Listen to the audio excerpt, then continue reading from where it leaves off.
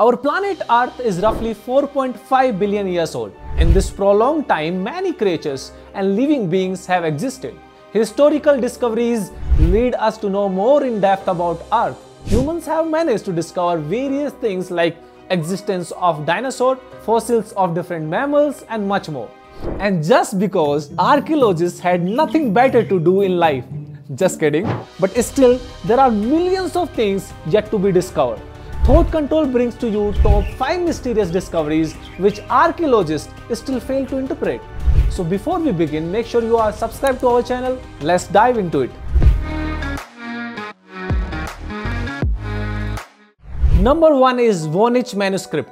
The Voynich manuscript is manuscript discovered in 1912 in North Italy. And since it is discovery, this manuscript has remained the world's most mysterious manuscript. This manuscript dates back to early 15th century. No one has ever been able to decode what is written in this manuscript.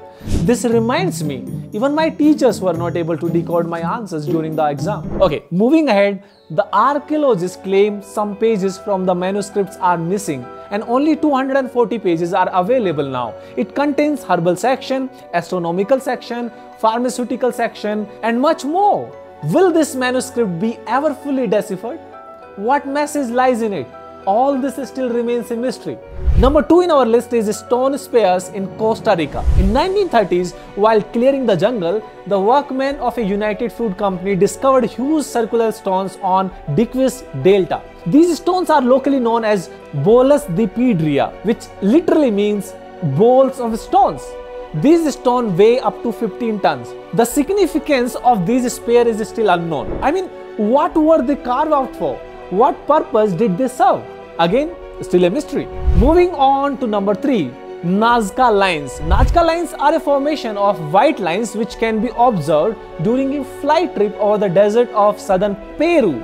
These formations consist of 70 plants and animal structures and over 300 geometrical shapes. Archaeologists estimates they were created by Nazca Indians between 500 BC to 700 AD. Some people even believe these lines were formed by aliens for following right path. Come on man, is it necessary to bring an alien theory in every mystery? Anyways, the purpose of these lines actually still remains to be mystery. Number 4 in our list is Terracotta Army. A group of archaeologists in Xi'an China made an excavation in 1974 which became the discovery of greatest funeral art ever, the Terracotta Army. It includes around 8,000 clay soldiers, almost 6 feet 1 inch tall, buried around the tomb of the first emperor of China, Qin Shi Huang.